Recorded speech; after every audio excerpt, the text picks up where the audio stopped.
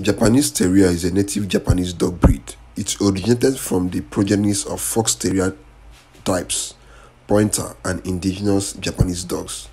They were bred in the 17th century. It has a black head with a white body and little black spots. They reach up to 13 inches and up to 5 kg. They are cheerful, lively, and fast.